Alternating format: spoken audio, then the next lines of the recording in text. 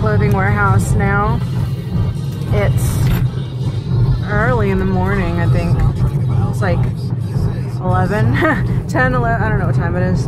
But um, for me to be out and about, it's 10.30. Ooh, that's early for me. Well, but then again, I've been awake since uh, 6, so I guess it's not early. But um, I keep trying to make this video in the clothing warehouse, but the camera keeps not working and people keep asking me to show them what it looks like in there because it's where I get all my clothes from and uh, it's so cheap. So I'm gonna try and what I'm gonna do this time is I'm gonna stop the camera and try to turn it on slickly inside the clothing warehouse so that way um, it will adjust to the different light because what's happening is it's not adjusting to the light and so it's not showing anything. Unfortunately, I'm probably going to have to do vertical video as well because you're not allowed to video in there. I don't know why. And so if I'm there holding my phone sideways, it's gonna it's gonna be very obvious. Whereas if I have my phone upright, I could just pretend I'm texting and walk around and, and video for you guys. So I'm gonna try to do that. I get really embarrassed and I go in and people usually stare at me as well. So um, I will definitely give it a good shot this time for once. And so I will check back in about well it doesn't matter how many minutes because you guys won't exactly know but I will check back when I'm inside and see if I can get it to work this time. And fingers crossed that I find some awesome finds again because I've been getting really lucky with clothes and makeup and things so far. So I don't think I'll find anything because I have been there just recently but you never know. So fingers crossed I find something. And then after that, I'm gonna watch Deadpool again. So that'll be awesome. And I will see you in a couple of minutes. Oh, bumpy. This is the outside of the clothing warehouse building. I took my seatbelt off, so it's bitching. Um, so you can see it's quite big. We're like there, you stupid car.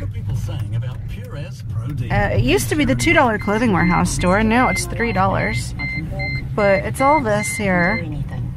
So fingers crossed I'll get a good video of the inside.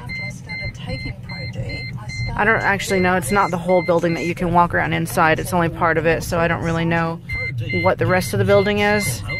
Uh, they only use a portion of it, but it's still a good size.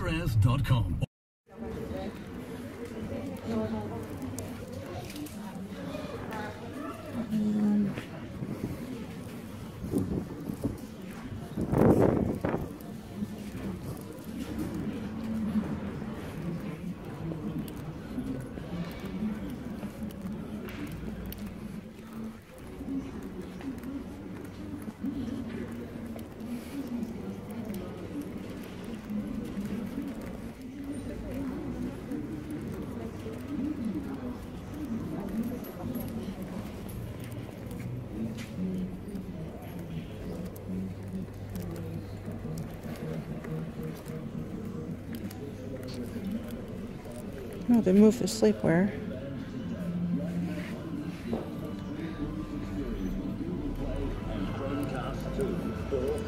limited time. Grab half-price broadband for the first six months. That's only $44.99 a month for New Zealand's ultimate internet experience. Switch today and experience MyRepublic broadband. T's and C's apply.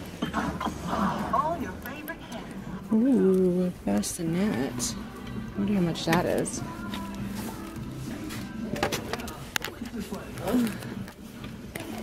Oops, did I just take a picture?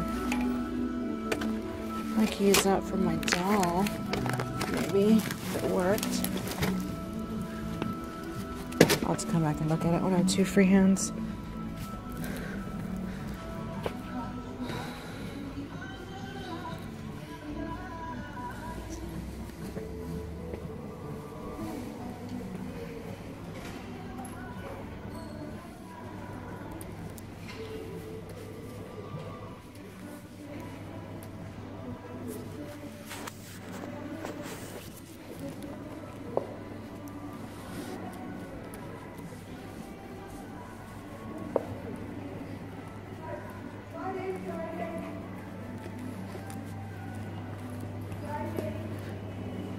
Have a lot of stuff in here today.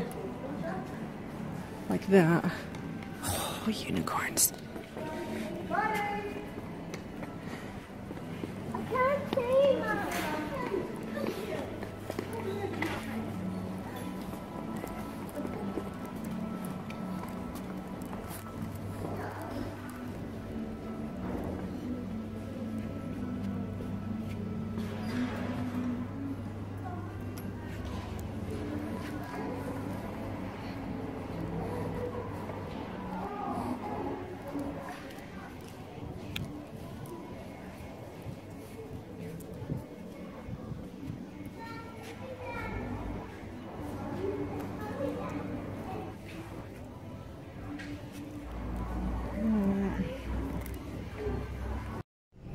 Alright, so we're leaving the clothing warehouse now. And I thought I wasn't to find anything, but I found two bags of stuff. Cost me $24. Oh, I look a mess. Um, it's pretty awesome because, uh, well, I got like uh, a porcelain doll, a bride doll to paint, and I got a storybook and uh, um, some onesies. I got another onesie with a butt flap and it's got little ducks on it. And I got Dorian a, a red onesie. Um, it's Elmo, but it's missing an eye. I figure he'll he'll probably like it more because of that. And um, and then I only found two outfits because actually like the huge pile of outfits I had today were too big on me like a size 10 size 12 size 14 they were floating on me and um, what I got I got this kind of another 50s style dress though it's not a 50s brand and that size extra small. And that one was quite cool looking. I really like that uh, it's got a pink stripe on the bottom. I'll put a picture or make a video of it or something like that.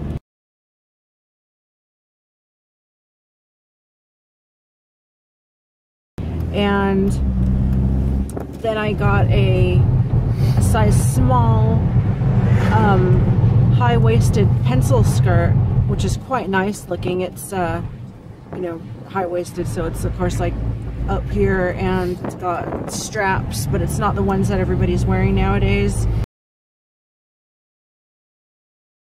And uh, it's quite slimming and I just I couldn't believe that a size small and an extra small fit just goes to show you how fucked up sizes are because at the same time I tried on two things that were size 10 well one thing that was a size 10 and it was too small and then I tried on something that was a size 12 and it was too small and a size 10 pant or shorts high-waisted shorts those would have closed but it would have totally muffin topped me but at home I have size 10 pants and they fit me.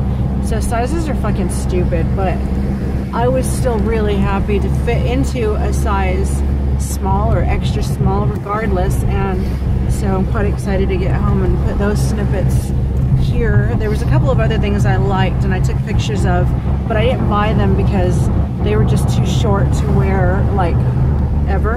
And so it was just a waste of money, so I didn't get them.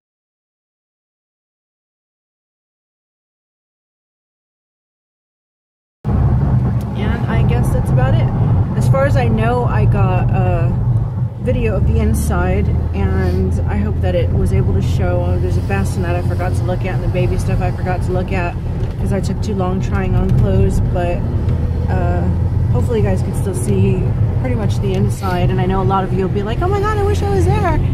Uh, it is pretty cool to go to. It's like one of my favorite stories here and that's all I have to say. Now I'm really hungry. I'm gonna go eat and go watch Deadpool again and I will